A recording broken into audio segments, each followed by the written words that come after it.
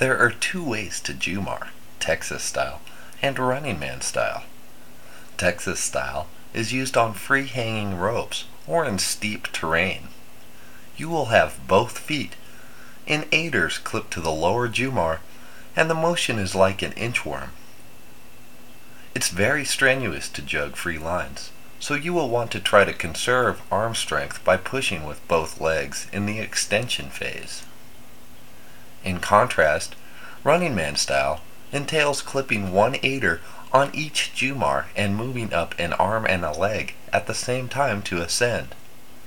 It works well on lower angle pitches and for cleaning vertical stretches. It's easier to maintain a rhythm and is often less awkward than Texas style. Be sure to understand the subtleties of both styles before Jumaring on your first wall.